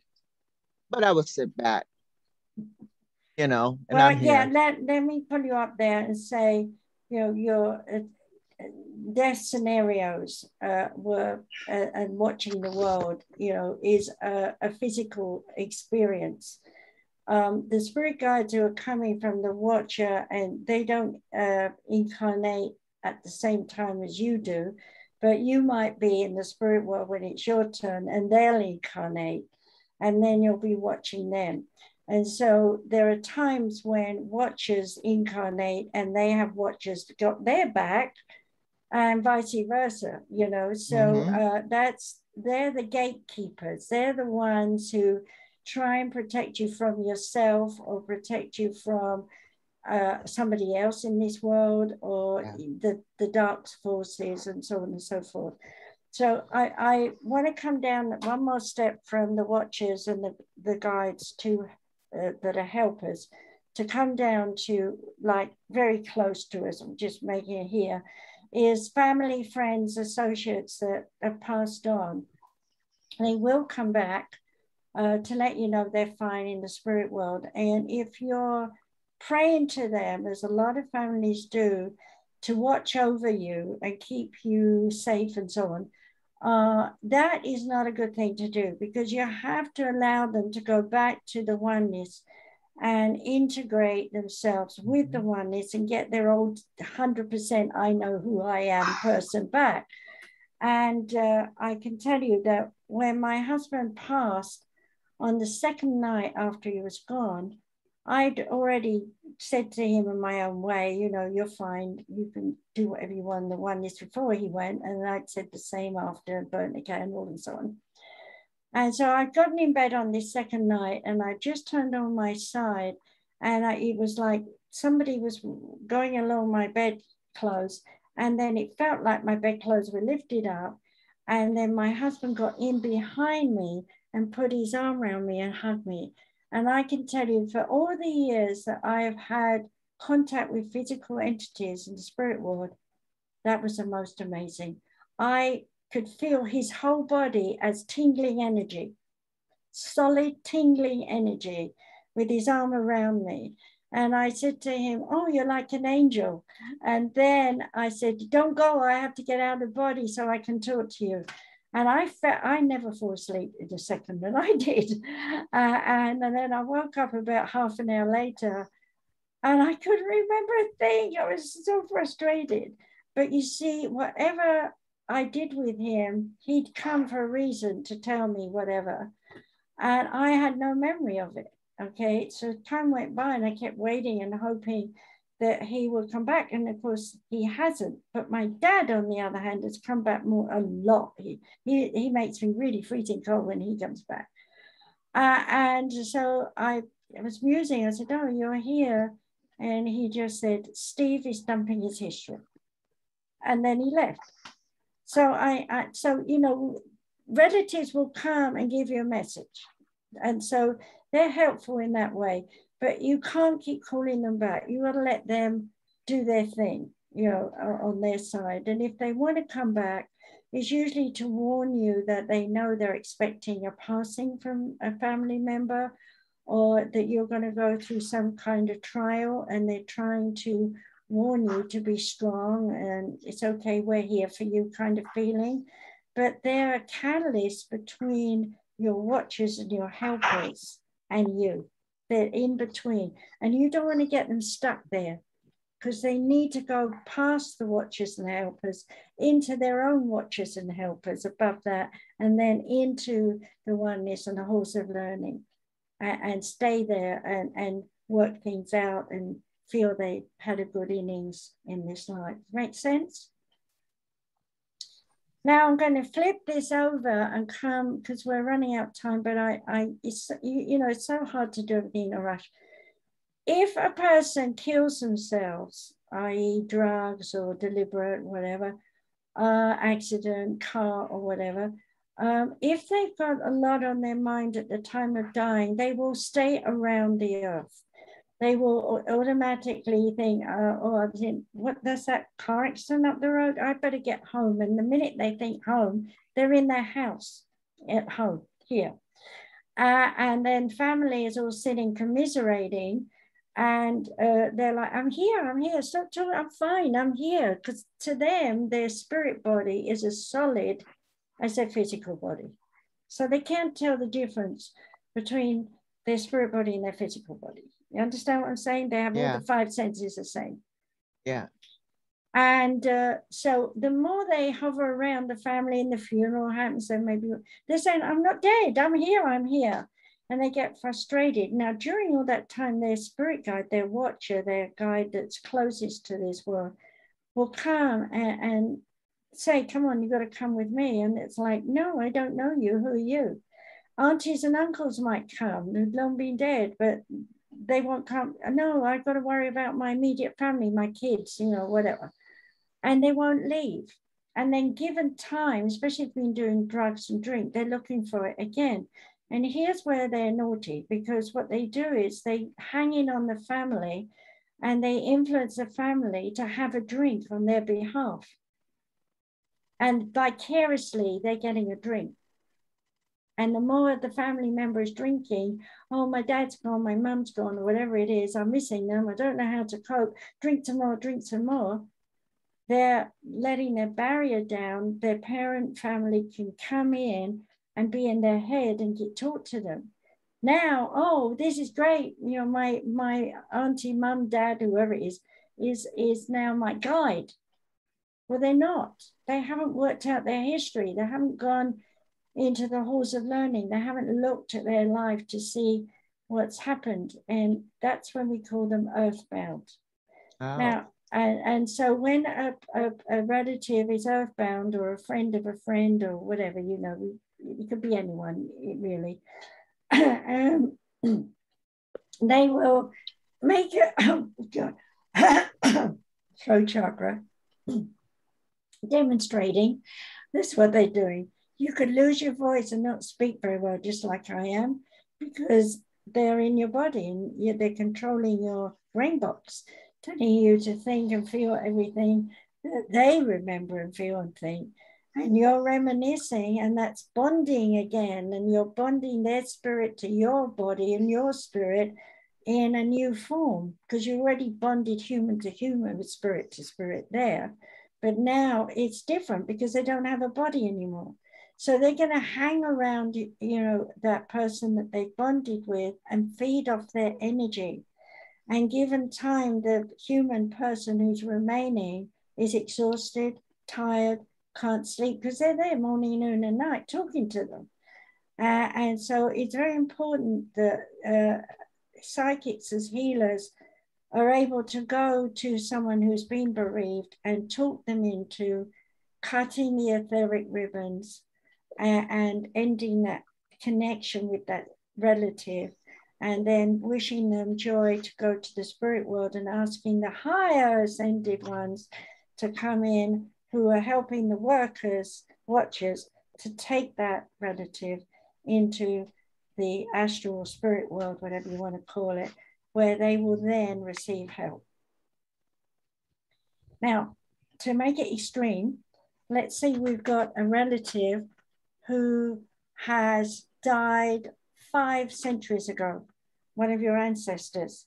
It might be part of your work to rescue that ancestor and bring them back to the spirit world. So they turn up out of the blue, dark and miserable, and you think I'm being haunted, and da, da, da, but believe you me, there's a there's a DNA connection, and it's not to possess you. It's not for you to take on their traits. It's for you to use the power of your spirit to say, I honor and respect the life you lived, but it's over, it's done, and I'm here to take you to the spirit world.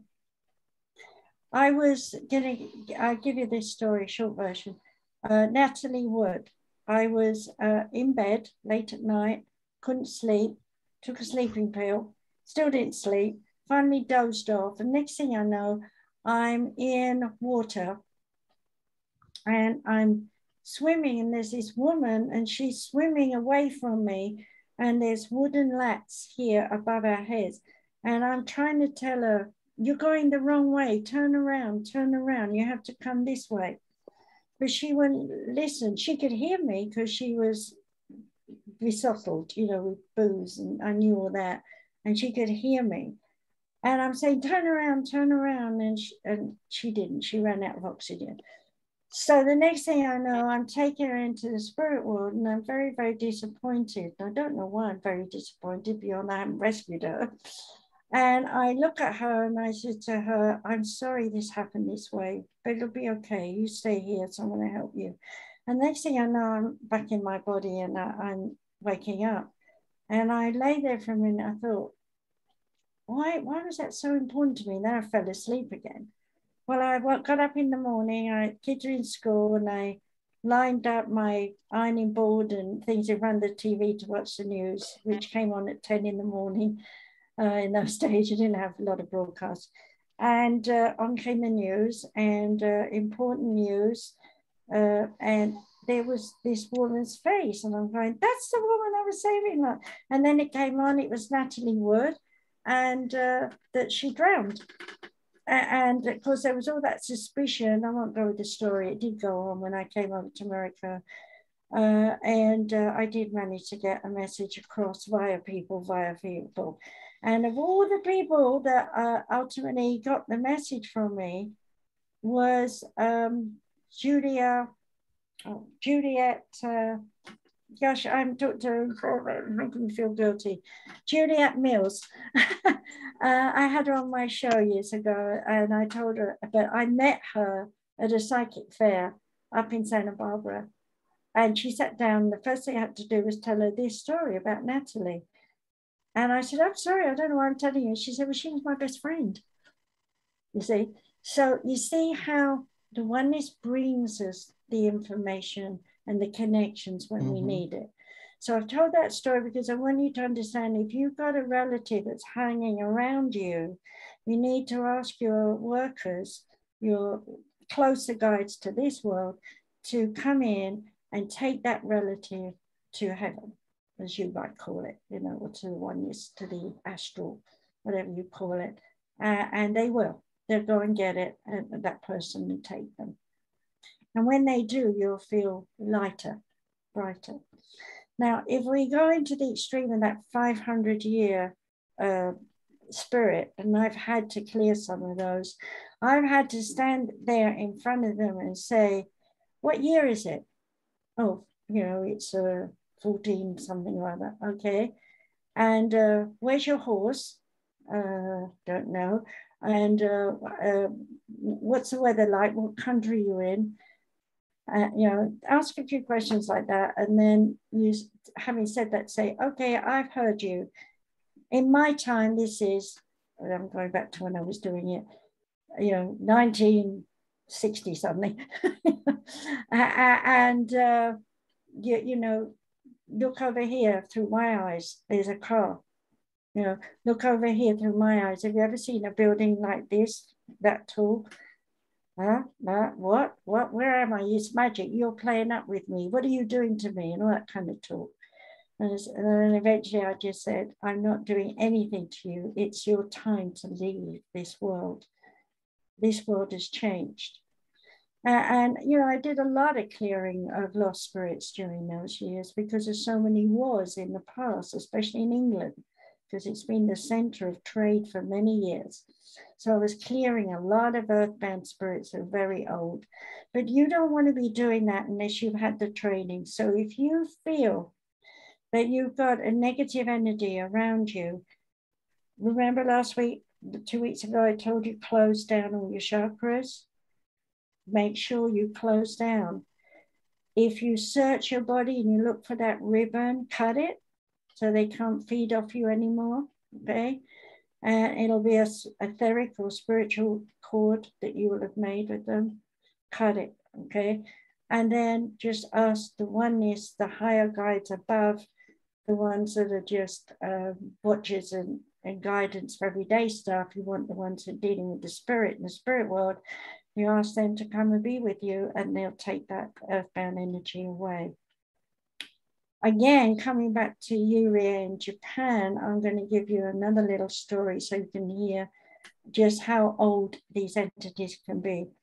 A woman, I was in Osaka, and uh, a woman came for a session. She was beautiful, gorgeous, gorgeous, pretty woman. And she sat down, and the first thing out of her mouth was, I'm evil. I said, What do you mean you're evil? She says, Everybody tells me I'm evil. And uh, I said, Well, why? And she said, Well, wherever I go, bad things happen after I leave. So I said, I'm looking at spirit and I listened to spirit and I said, sure enough, there was an entity with her. Uh, is like is a succubus. Now I have to explain a succubus. A succubus is a fallen angel from the times eons of ages ago, when angels came into embodiment to experience human form of a kind. It wasn't like we are today. Uh, and a lot of them got stuck down here, as it says in the Bible anyway. Uh, and so this was one of those. And so she went away. I kept the this fallen angel with me. She went away and she felt light and bright and free. I lie down that night and now I have to work to get rid of this this uh, entity. And of course, he's talking to me and telling me that he's going to control me. This is a very light version. I think the rest of it's in my book, My Life Story. Uh, so I'm not going to tell all the story, but the end thing was he was looking like a gnarled um, sort of alligator. His skin was all like a crocodile. Mm. Okay. Uh, and uh, but he was upright. He, I didn't see a tail or anything, but he was upright, and his face was all gnarled and, and horrible.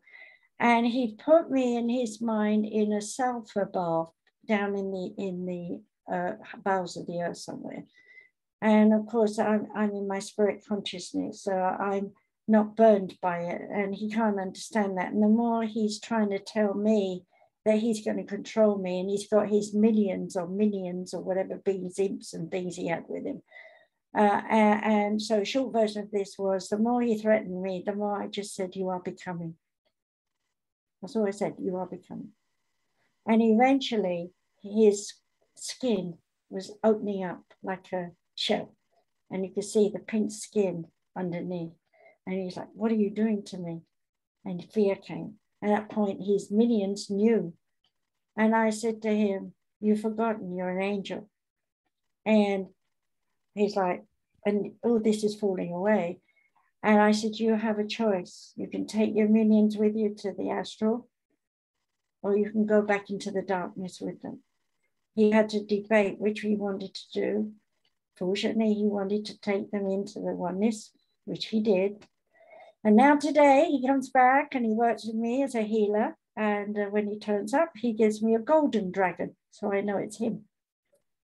So we even are still rescuing fallen angels. There are so many negative things around this planet. And as I said in my radio show, I think it was, around this earth is all the negativity that any one of us has put out through any time on this planet. It's there. And every so often we have to gather together and do prayering and clear that whole circle. And the COVID and other things like that happening, and, and the floods and the earth changing and shifting of its axis is all part of clearing it. It's part of getting rid of the negativity. Make sense? Any questions about that? So I want you to understand any dark spirits that you pick up when you're working with your psyche, know that they have no control over you. The only thing they can do is talk negatively and fearful. They could show you pictures of, say, uh, a woman being F U C K with an animal. Uh, you know, I'm not swearing, but I'm using that word literally, that's what it means. Uh, and uh, those kind of entities are really ancient, ancient, ancient from times even before Stonehenge or whatever, you know, and you can't take them on with today's consciousness. You have to, if you if you're going to be working with that kind of entity, you have to bring your spirit guides, your ascended masters, they'll be there anyway, but you have to knowingly connect with them from the back here and ask them to help you in the guidance to how you talk to such a negative entity. And in the process of doing that, you will be trained, you will be taught what to say and what to do. It'll be like being in a trance like state, and you will get that entity to leave you. Regular people just died, like a car accident, they're hanging around and all the rest of it. You just say to them, You've passed on.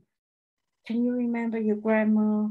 Oh, yeah, why? Well, she's behind you. Look behind you, and there's grandma. They'll see grandma. They'll go to the spirit world. Okay? Makes sense?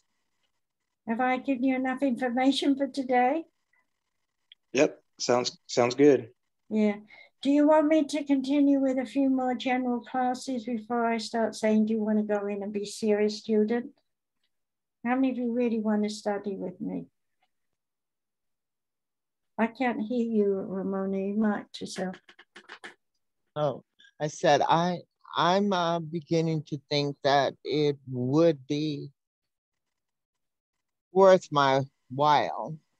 Um, hmm. Well, let me just so you could also think about this this way. Katie and I are still fiddling around with prices, but we're comparing it with, uh, you know, college.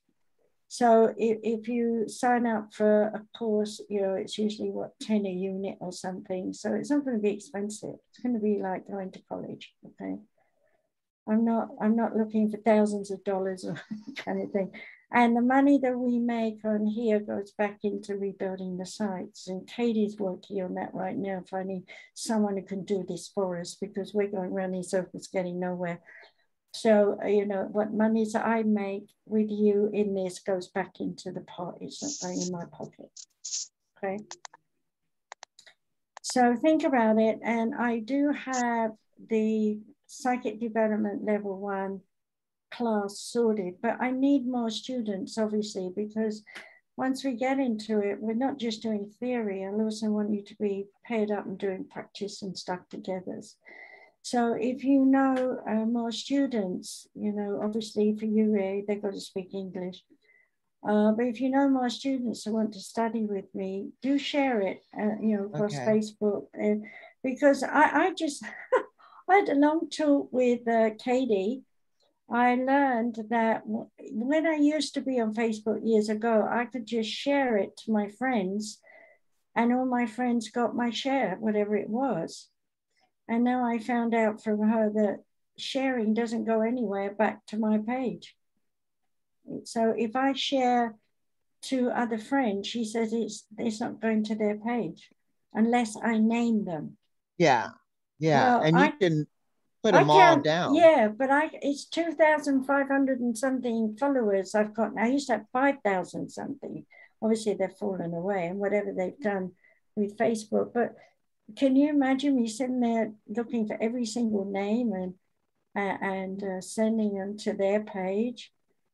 Yeah, you just don't know if they're even seeing half of your things that you post now the way that uh, exactly. Facebook does it. Um, so, so we're going to look into finding someone else to help her a rebuild the. Um, I don't know if she's listening. She's probably doing it. Okay. Well, why don't you tell her what you're doing? I'm currently negotiating a price uh, range to have a third party rebuild the entire site, which would allow us to uh, actually for you guys to actually log in as students and in the in the back in, in in the kind of the behind so in the front you'll see all the courses in the back you'll see the actual classes and it'll be the same uh, you'll log in log into the zoom and uh, you'll get to have uh, private classes and all that kind of stuff. And there will be extensions for one-on-one services that we provide, uh, as well as everything else. So it'll be a one one shop stop basically. Uh, just like you know, if you've ever done online university, it is exactly the same. It's the way that we're building it, but it's going to take more than my expertise in order to get over that line. So we're getting someone. She's talking with someone. Thank you, Katie. You're welcome. Uh, uh, and uh, we don't know how long it's going to take. So meanwhile, uh, you know, I'm still doing everything for free. And the other thing uh, that I've got to do is I'm going to do some later when I get off here. I'm going to do some short on Samaris. We've got topics, and I'm going to do a short little video about what each topic is. Yeah. Uh, so she'll put that up. And so you might want to look at that and see if you want to come on for the free talks on that as well. okay. And then also too, I might suggest um, to periodically put links to us so that we can share those links out to the Academy site. Would you know would you for rather, our friends? Would you rather me uh, tag just tag you in the post that I put up?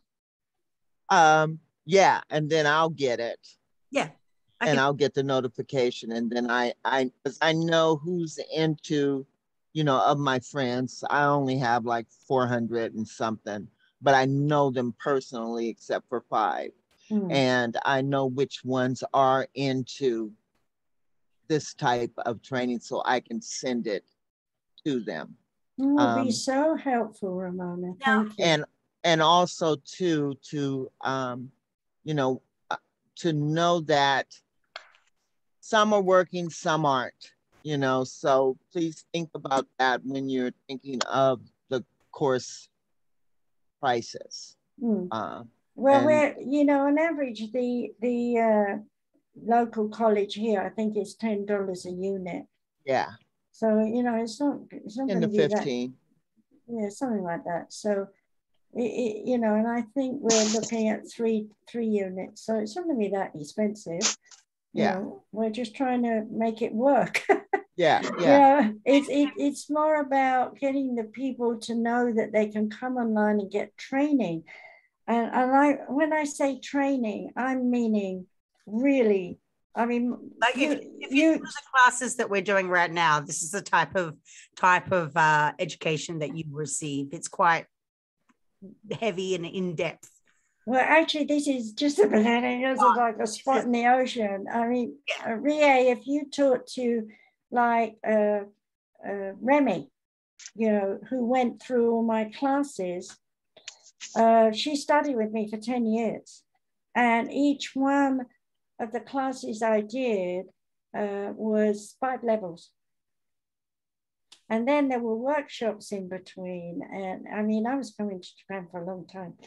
And I so love teaching Japanese because you're so clever, you can absorb info. But I'm not going to teach them as intensely online here for the world because not everybody is able to study the way Japanese can because they're taught at two years old. Uh, you have your, your own language, you two sorts of writing, you learn English, you have to do your math, and you have to be able to uh, integrate in play school by the time you're three, right? Three and four years old, you're learning all that. Here in America, they don't go to school till six. uh, in England, you go to school at four. So, so four here. Is it where you are? Yeah. Mm-hmm. Okay. Unless they've changed it since I, you know, but I was in kindergarten at four years old. Yeah. No, here uh, mostly it's happening. I mean, when you talk about play school, they're literally playing. They're not. They're not teachers. They're childminders. But anyway, you get the idea. You know. So. Ria. You, Ria, if you can also tell any of the girls that you know are uh, able to speak English, I would appreciate that too. Yes. And and Ree, I've just sent you a friend request. I know you've just accepted it. Um, yes, I did. Yeah, uh, you're going to see a lot of the, a lot of the marketing I do. You'll see up on my wall. You probably, if you go over to my profile, you'll see this this class exactly advertised as as as is. So you once you're connected to me, you're going to see everything that goes on. Okay. And also, yeah, um, I'm doing two nights in September again for readings. Hmm. Yes. So, so, yeah, so if you know anyone that needs my help, you mm. know, it would be grateful to spread the word. Yeah. All right. Okay. So uh, I, I I I don't want to be selfish and hug you for for just promotion, but you know, word of mouth is the best thing. It always has been. Yeah. You know, recommendations. You we trust one another. When somebody tells us, "Go and have my nails done here," we yeah. go, "Okay," you know. So it's the yeah. same with classes. And okay. when everything when everything is up and running properly, like in terms of the website, uh, that leaves me a lot more time to uh, start my curriculum as well. So it won't just be Margaret that's teaching; it'll be me as well. Mm. I'm doing I'm doing metaphysics, psychiatry, and psychology. So um, these are very heavy, heavy subjects that can go on forever. So yeah. Mm. And, and, you know what I was thinking? Oh, I, I was, was, just going to. Sorry, I was just going to say to Ria that um, I'm also getting uh, Remy back. I hope because um, she's now ready for her professorship, and if she's teaching online, that's going to make it even better for her to teach as well. So uh, she's vice president of UCC. So we're we're we're building, you know. And oh, the other thing is, if you know anyone who speaks uh, Spanish or French, we'd like to get them to teach. You know, if they know these things, oh. or or they can be an interpreter for me. Oh, okay. Yeah, because uh, going global, that means we're offering other languages to to attach to other more prominent language like Hispanic community and uh, and of course we do have we do have uh, a group of students also too that uh, are coming from Uganda um, and so Ugandan will, is another language that we'll be interpreting very soon. Mm, she's working on that. So, you know, it's there. We've got these little fingers in these pies, but we don't quite know where the pies are. you know, well, so we need help. Yeah. If you if you can can actually like a poster or cards, I can post them out, especially in Houston, around in Houston, because it's a very uh, psychic community that's alive and well. And I mm-hmm. have people that can post things up in Dallas. You okay. mean real posters on real walls? So you're yeah. thinking?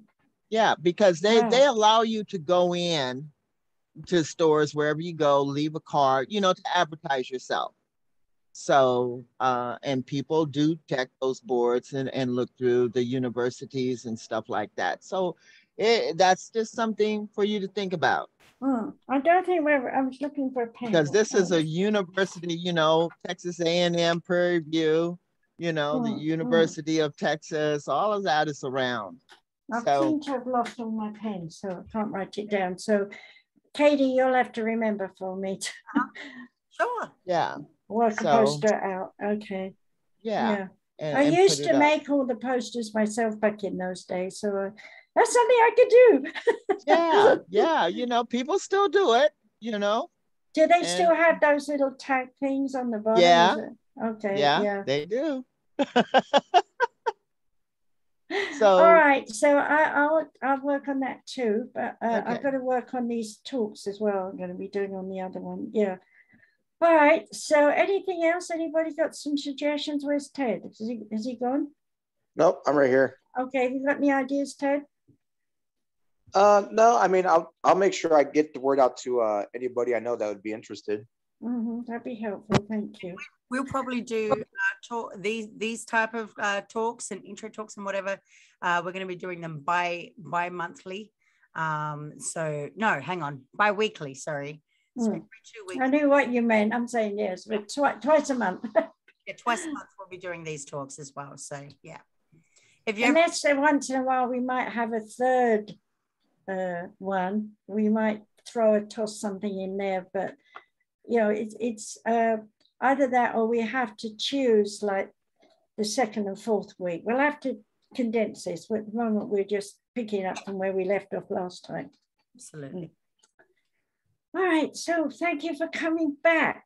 I really appreciate that, giving me an opportunity to teach you. I hope you were satisfied this time. Yeah. Oh, yeah. Yeah? Was Everything was good. Time. Thank you. Thank you.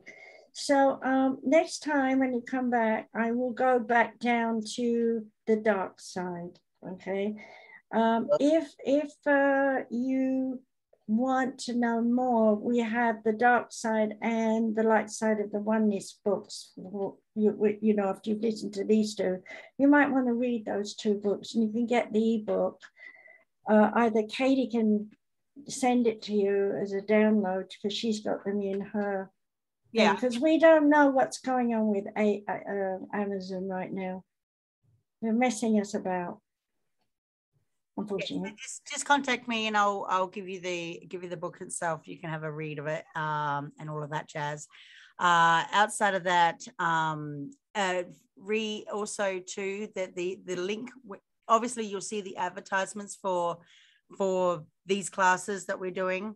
Um, the Zoom link is going to stay the same until and, unless we change it. So uh, all you got to do is just look out look out for the the advertisement. Know that it's going to be the next one is going to be scheduled on the 5th yes okay i'm i'm so disorganized here because i was on the phone but i haven't got a pen. You'll have to tell me later. I'll tell you later. It's okay all right one will be on so, the uh, and i'll put out the advertisements it'll be the same zoom link for anyone who is curious to know Okay. It'll be advertised again, anyways, with the same link and all that jazz. So yeah. That's for Central, uh, Eastern time. No, for Central time, five Eastern. Yeah, five Eastern and uh, three. No, two, two. Okay. Or two, you, two Arizona time, which is Pacific yeah. time at the moment. Currently. Uh, and uh, then um, DC time, East Coast, is three hours later. And 6 a.m. in Tokyo. 6 a.m. She's so good. She's such a good girl. God.